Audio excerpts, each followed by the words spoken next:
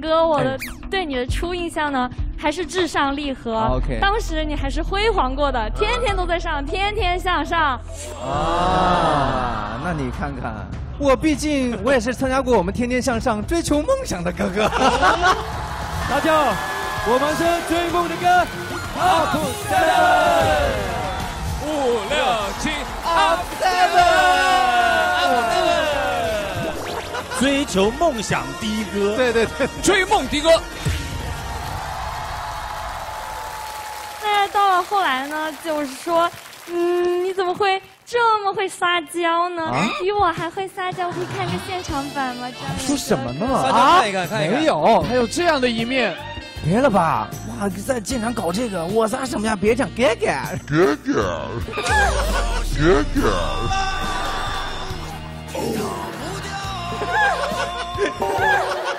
你帮帮我吧。好，接下来我们说一下对呃王铮亮哥哥的印象。一开始的时候，就是他们问我对王铮亮哥哥的初印象，第一次映入我耳帘的歌是那个《时光时光慢些吧哇，你又多了一首代表作。那是筷子兄弟。》唱着唱着才发现不太对劲儿。所以你以前看到王太利老师的时候，每次喊哎王铮亮，就是很很像，呃，我自己隐身吧，还是？但是现印象呢，就是呃有点烂梗王的那种感觉。但是我也觉得只有其他五位哥哥可以接住王铮亮叔叔的梗，王铮亮叔叔的梗。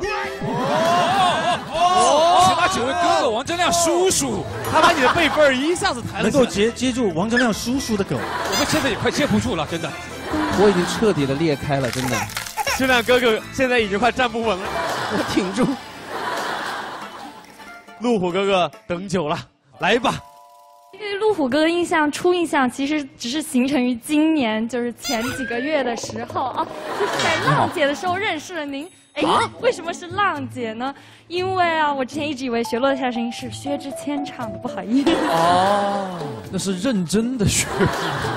直到吴谨言跳了一首《雪落下的声音》，我们看到了字母条上，哦，这位是谁？这么优秀的哥哥，一查原来是我们零七幺三优秀的哥哥之一。谢谢。那现印象呢，也是在我搜索搜索引擎之后发现，哇，路虎哥哥是那么疼女朋友的人，就是作为女生真的很羡慕。那你看，哇，你这夸个人夸的山路十八弯的二人转都我的天哪唱起来了。就是说，希望这么甜甜的恋爱可以尽快来到我身边。那我就祝福你，送你一首爆米花酸。送你一首《雪落下的声音》。却下的那么深，下的那么认真，却听见了你说不可能。好，谢谢。谢谢。